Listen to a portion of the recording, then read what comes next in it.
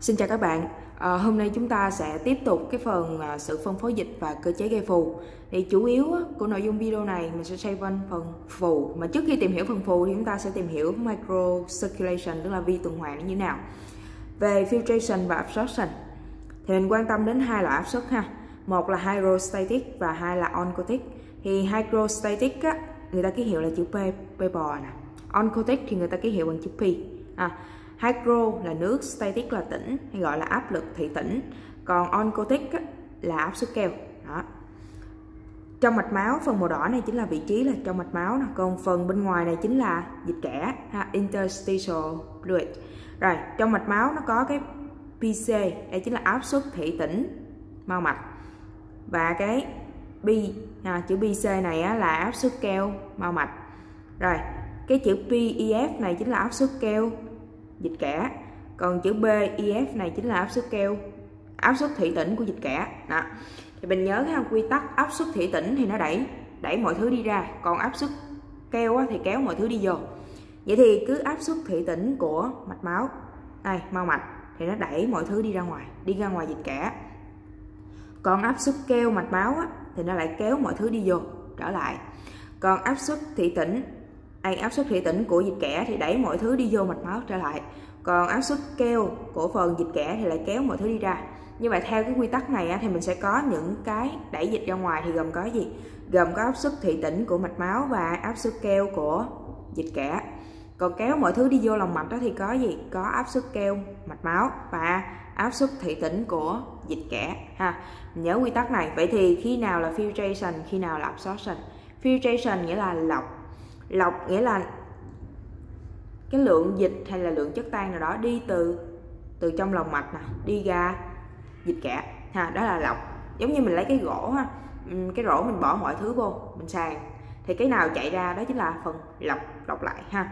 Rồi, là nhắc lại lọc là, là đi từ đâu? Là đi từ plasma tức là từ bên trong lòng mạch đi ra dịch kẽ ha. Và muốn từ trong lòng mạch đi ra dịch kẽ thì cái áp suất đẩy nó phải thắng cái phần kéo vô trong lòng mạch tức là BC cộng với BEF này nó phải lớn hơn BC cộng với BEF ha. Nó phải lớn hơn cái phần màu xanh này nó phải thắng thế hơn. Để chi? Để dịch có thể đi ra ngoài. Đó là phần lọc absorption á, là hấp thu tức là ngược lại tức theo chiều ngược lại ha. Hấp thu nghĩa là đưa tất cả mọi thứ từ bên ngoài này đi vào bên trong từ dịch kẽ vào bên trong huyết tương. Ha vậy thì cái BC cộng với BIF nó phải lớn hơn cái BC à, cái BC cộng với PEF ha. Đó đó là về à, những cái nguyên tắc cơ bản trước khi mình đi vào à, tìm hiểu à, à, phần phù ha rồi ở đây mình có cái công thức công thức liên quan đến uh, sự um, di chuyển của dịch nè Starling equation này. À, uh, QF này QF tức là chữ F ở đây là filtration đấy. Này muốn lọc được á thì nó có một cái hệ số K. K chính là tính thấm à, tính thấm và bằng cái BC cộng với BF tức là cái áp suất mà lọc á. Đẩy đẩy nước hoặc dịch từ bên trong lòng mạch đi ra bên ngoài dịch kẽ trừ cho cái lượng BF cộng với BC à, BF cộng với BC là cái lượng hấp thu ha. Mình lấy cái phần lọc mình trừ cho cái lượng hấp thu. Nhân với hệ số K là tính thấm thì sẽ ra được cái lượng lọc. Nếu mà QF này lớn hơn không đây chính là filtration. Còn nếu QF này mà nhỏ hơn không đó là absorption hay là hấp thu. Áp lực âm mà áp lực âm thì dòng nước và chất tan nó sẽ di chuyển ngược lại. À, và cái thứ ba là cũng không kém phần quan trọng là hệ thống mạch huyết ha. Hệ thống hạch bạch huyết á ngoài cái vai trò miễn dịch thì nó còn có vai trò là duy trì cái thể tích thấp ở bên trong dịch kẽ và lượng protein chứa trong đó. Tức là khi có dịch và protein bên trong dịch kẽ quá nhiều thì cái hệ thống mạch huyết này sẽ sẽ lấy protein vô và đưa về, đưa trở về tuần hoàn. Bởi vì thực tế kích thước của protein nó quá lớn, cho nên nó nó không thể hấp, tái hấp thu vào trong cái mao mạch hay là nó trở về tuần hoàn bằng đường mạch máu được mà nó phải trở về thông qua cái hệ thống bạch huyết do nó nhờ có cái van và nó có khả năng di chuyển ha di chuyển cái protein. Đó là vai trò thứ nhất. Vai trò thứ hai là loại bỏ protein từ dịch kẽ thì thực tế hai vai trò nó cũng y xì với nhau ha. Việc loại bỏ protein ra khỏi dịch kẽ tức là đưa protein trở lại tuần hoàn lớn. Rồi ở đây mình lấy một cái ví dụ ha. Này người ta cho mình bốn giá trị là BC, PEF rồi à, PC, PEF chung cái này đọc ha. B ừ. B BC BIF lại BC BIF ha. Thì ở đây à, mình mình nhắc lại một cái một chút về cái mạch máu và phần dịch kẽ nè thì cái nào đẩy ra là cái BC và cái BIF đây một phần là đẩy ra một phần là kéo dịch ra nè. Rồi cái nào đẩy vô? Cái BIF này đẩy vô nè. Và cái cái phần PC này kéo vô nè. Đó, kéo dịch vô. Thì bây giờ mình thế công thức thôi ha. Thế công thức của QF đấy mình sẽ có 25 nè cộng với 1 đây chính là BC và đây là BC nè đây là B. À đây là BC nè đây là BEF còn đây là 20 này chính là B PC hai này chính là BIF đó cộng lại thì nó sẽ ra cộng 4 ml thủy ngân thì chứng tỏ đây chính là filtration ha đây là lọc dịch. À, ví dụ đó chỉ giúp chúng ta uh, nhớ sâu hơn à, tìm hiểu hơn về cái công thức thôi. Thực tế thì mình cũng chưa thấy nó áp dụng vô cái gì. Rồi phù. Phù á, được định nghĩa là sự tích tụ này sự tích tụ dịch bên trong cái khoang interstitial tức là khoang kẽ ha. Vậy thì phù nó có hai dạng đó là người ta chia thành hai nhóm chính đó là pitting edema và non pitting edema. Này pitting edema tức là mình ấn cái tay vào á thì nó sẽ bị lõm một thời gian ha còn non pitting edema là mình có ấn vô thì nó cũng chả có giảm chả có lõm liếc gì hết. Thì cái pitting edema này nó đáp ứng tốt với lại thuốc lợi tiểu. À, còn à, non pitting edema này thì nó không có đáp ứng tốt với thuốc lợi tiểu bởi vì do nó phù theo một cái cơ chế khác. Rồi à, để tìm hiểu rõ hơn về phần phù á, thì chúng ta sẽ tìm hiểu à, phù ngoại biên và phù phổi. Về phù ngoại biên phù ngoại biên thì mình quay lại cái công thức Starling equation ha. QF bằng K nhân với BC cộng với BEF mình quan tâm đến phần lọc thôi. Mình không quan tâm đến phần hấp thu ha. Bởi vì lọc là đẩy quá nhiều dịch ra ngoài, nó cũng sẽ dẫn đến phù. Cho nên mình quan tâm đến phần lọc. Thì ở đây mình quan tâm đến ba đại lượng, đó là K nè BC và BEF ừ. đầu tiên là nói về K, tức là tăng cái gì? Tăng cái tính thấm của mạch máu ha, tăng tính thấm mau mạch. Thì một số chất làm tăng tính thấm mau mạch là làm giãn mạch ha. Trong cái đáp ứng viêm mình thấy sưng phù lên, đó. Ví dụ như là TNF alpha. TNF là tumor necrosis factor alpha, đấy. Hoặc là bradykinin hoặc là histamine, hoặc là các cytokine. Này nó làm giãn cái mạch máu ra.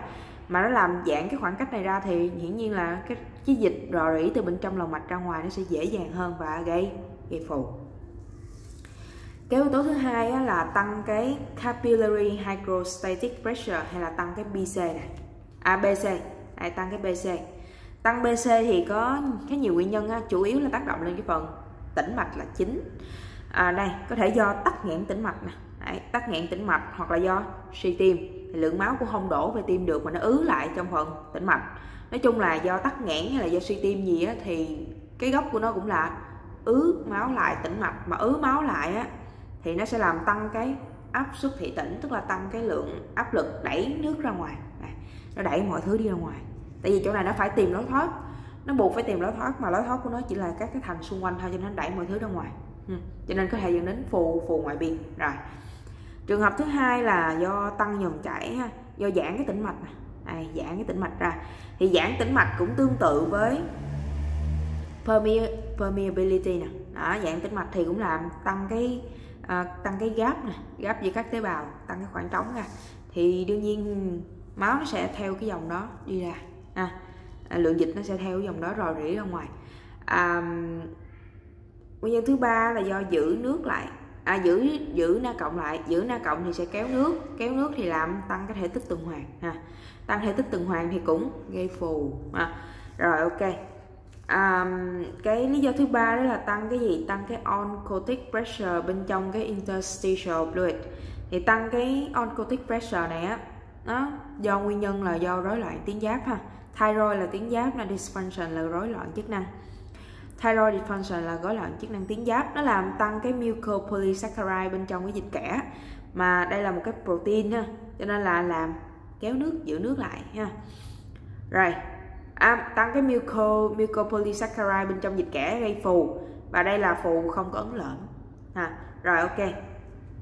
Ngoài ra còn một nguyên nhân có thể gây phù ở ngoại biên nữa đó là tắc nghẽn hệ thống bạch huyết. Bởi vì mình biết á, bạch huyết nó vận chuyển một lượng dịch một lượng protein khoảng 10% về tuần hoàn lớn. Mà khi tắc nghẽn hệ thống bạch huyết thì sẽ ứ dịch ha, ứ protein lại bên trong hệ thống bạch huyết.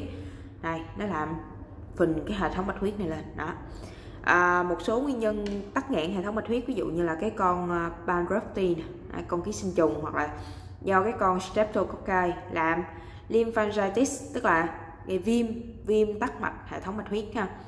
À, tổn thương khối u hoặc là phẫu thuật cắt bỏ hệ thống bạch huyết vâng rồi đó là sơ lược về à, cái phù ngoại biên. Còn à, phù phổi á, phù phổi là do ứ dịch lại trong phổi à, thay vì ứ dịch lại tại khoang kẽ ngoài biên thì đây là ứ dịch lại trong phổi.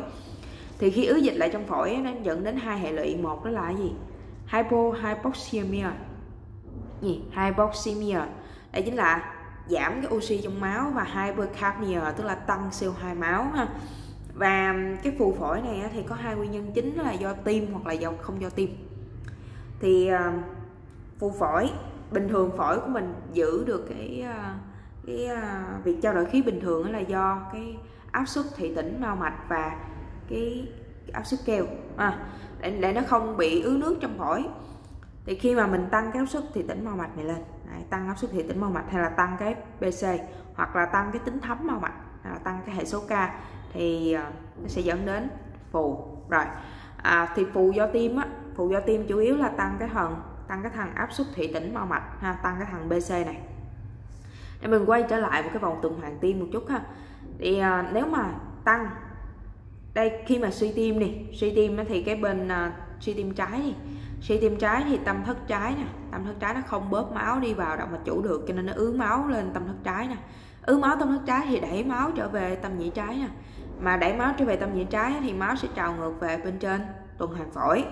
Mà máu ứ lại tuần hoàn phổi thì sẽ làm tăng cái áp suất thị tĩnh. À, báo ứ lên từng hoàn phổi thì làm tăng cái áp suất thị tĩnh bên trong cái tĩnh mạch phổi và tăng cái áp suất thị tĩnh bên trong mao mạch phổi. Đấy, tăng áp suất thị tĩnh bên trong mao mạch phổi thì thì làm tăng BC bên trong mao mạch. À, tăng BC bên trong mao mạch thì xu hướng nó sẽ đẩy dịch vào bên trong lòng phế nang. À, và giai đoạn bệnh nhân này tiến triển á, ban đầu sẽ là khó thở khi nằm và giảm khi ngồi. Ha.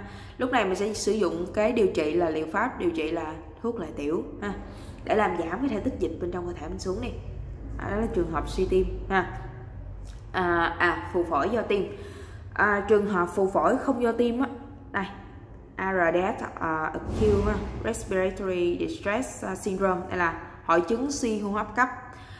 À, không do tim á, thường nó sẽ là tăng cái cái tính thấm tăng cái tính thấm.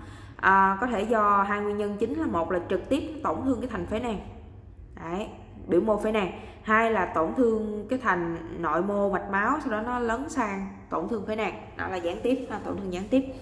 Thì trường hợp mà tăng cái tính thấm này á thì lượng dịch kéo vào rất là nhanh cho nên là khởi phát khó thở rất là nhanh. Khó thở nhanh nè giảm oxy máu rất là nhanh và dẫn đến suy hô hấp. Thường do uh, cái phù phổi mà không do tim nó có thể do nhiễm trùng nè do viêm phổi ha do viêm phổi ha, à, do các tổn thương. Đó à, rồi video này thì mình chỉ đề cập đến uh, cái uh, nội dung về phù. À, cũng kết thúc cái chương về uh, sự phân phối dịch và phù. Hẹn gặp lại các bạn trong các cái chương sau của quyển Kaplan Physiology. À, cảm ơn mọi người đã theo dõi video clip này.